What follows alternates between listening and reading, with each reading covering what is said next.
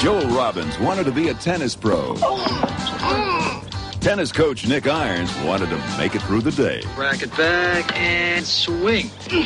Good. But Joel's father had other plans. I want you to take care of somebody for me. See, Joey's got this idea he can make it in tennis, you know, the big time. Hire a nanny. I don't know why you're out here. You're not helping me. I'm out here because your father's paying me. But like all great teams, they had their problems. What are you doing? What? That thing with your shorts. What do you mean? It's very weird. Why are you looking at my shorts? You know you're wasting your time with that Robbins kid. You've got no guts. He's a wacko. Nutcase. He used to be a guy who stood for something, who cared. It's such a waste. You're crazy! Want to beat these idiots? I'm the only guy that can show you how.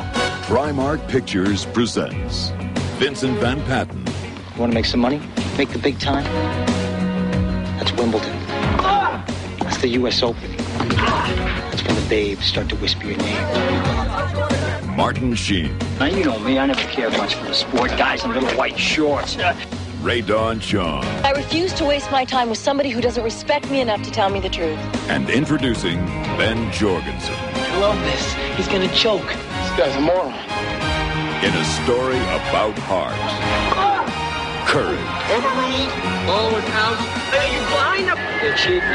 and friendship. How much you get paid to cheap for this bastard? Together, they shared a dream.